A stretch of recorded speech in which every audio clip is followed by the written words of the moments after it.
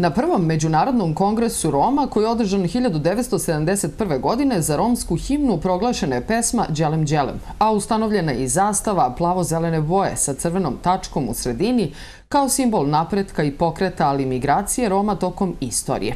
Širom sveta danas se obeležava njihov dan, dan proslave romske kulture i podizanja svesti o problemima sa kojima se oni suočavaju. Povodom Svetskog dana Roma razgovarali smo sa Biljanom Jovanović, pre svega o položaju romske manjine u Raški, obrazovanju, zapošljavanju i diskriminaciji, pa između ostalog i o tome kako prevazići stereotipe i predrasude prema ovoj nacionalnoj manjini koja broji više od 5 miliona pripadnika širom sveta. Pre svega da čestitam uh, Romima uh, i ovde u Raški u Srbiji njihov dan, uh, Aven sa stete bahtale opre Roma, Um, promenilo se dosta toga, postoje stvari koje tek treba da se urade, a postoje stvari koje su već urađene za dobrobit na cele naše zajednice. Ono što je potrebno da se uradi jeste da po strategiji koja je potpisana prošle nedelje u vladi Republike Srbije i koja traje do 2030. godine, opet se provlači da moramo da imamo romskog koordinatora, zdravstvenog radnika romske nacionalnosti, odnosno medijatora i um, pedagoškog asistenta koji će raditi sa romskom decom. I to sam već mnogo puta pričala, ali se ništa do duše do sad nije promenilo. Ono što im nedostaje jeste i romski koordinator, koji bi trebao da da podršku lokalnoj samoupravi u razvoju i sprovođenju politika i programa inkluzije Roma u skladu sa nacionalnim i lokalnim strateškim okvirom onaj koji se bavi romskim pitanjima nije romske nacionalnosti kao što to propisuje strategija. E, mislim da u zdravstvu je bilo potrebno imati zdravstvenog medijatora, pogotovo u trenutku kada smo se borili sa koronavirusom, gde je starim ljudima, romima pre svega, e, bilo potrebno objasniti možda e, gde treba da idu i kako da se leče u tim trenucima kada su bili bolesni. Tako da mislim da je tu propust, jer nismo imali tog zdravstvenog medijatora. Što se tiče pedagoških asistenata, Nemamo pedagoške asistente u školama. E, ja sam radila dve godine kao asistent za inkluziju i obrazovanje. To je nešto najpribližnije pedagoškom asistentu, ali i taj ugovor se završio u februaru i nije bilo, koliko vidim, nije bilo potrebe produžavati ga.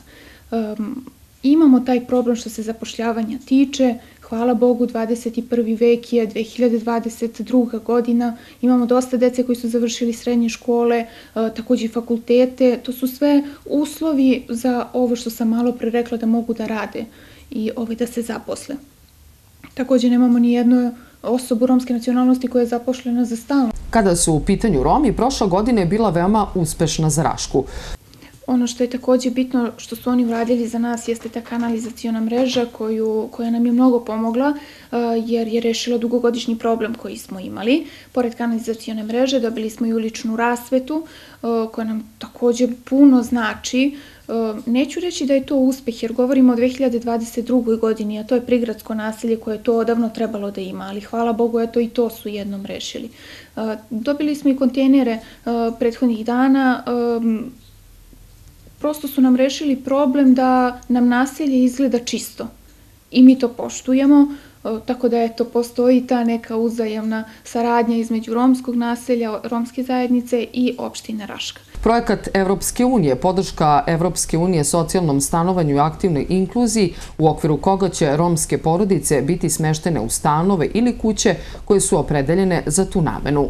Jedna lepa stvar koja se takođe upravo dešava jeste i izgradnja 13 stambenih jedinica za naše e, Rome u romskoj zajednici i u Kučevskom lugu. E, verovatno su više puta pričali o tome predstavnici ekumenske humanitarne organizacije koji rade taj projekat i predstavnici opštine. Ja mogu reći da je to zaista jedan veliki projekat i veliki poduhvat za, za, za Rome i tu zajednicu i promenit će im život na bolje. Osim što će im promeniti stambeno pitanje, unaprediti to, tu, taj život. Takođe će u toku tog projekta postoji i delovi gde će se raditi na zapošljavanju Roma i na obrazovanju dece, odnosno na inkluziji. Tako da je to jedan veliki lep projekat. Ja se ispred romske zajednice zahvaljujem ekumenskoj humanitarnoj organizaciji koja mnogo pažnje posvećuje našoj opštini i našim Romima. Međunarodni dan Roma je važan zbog toga da se podsjetimo šta smo uradili i šta ćemo uraditi da bismo rešili probleme sa kojima se svakodnevno suočavaju pripadnici ove nacionalne manjine. A i pored toga, problemi Roma su brojni. Pre svega se odnose na njihov ekonomski i socijalni položaj, stambeni problem i političku zastupljenost.